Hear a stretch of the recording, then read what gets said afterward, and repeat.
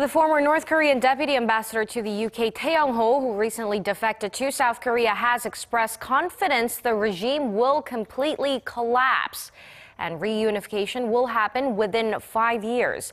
He made the remarks during a trip to Arirang TV in Seoul, or Oh Jung-hee has the details. Reunification of the Korean Peninsula is set to happen in five years or even sooner. That's what former North Korean Deputy Ambassador to London Thae Yong-ho told Arirang TV chief news anchor Moon Conn-young during an exclusive interview. Thae said North Korea, as we know, will cease to exist as soon as the Kim Jong-un regime crumbles down. Now all North Korean people and you see high-ranking officials know quite well that the current hereditary system uh, has nothing to do, you see, with true communism. There is no more any Kim family member after Kim Jong-un. When Kim Jong-un, you see, goes out, then I can say that reunification will come. The former diplomat added the reunification of the two Koreas is more feasible than ever, as there's no other person in the Kim family to succeed Kim Jong un's position.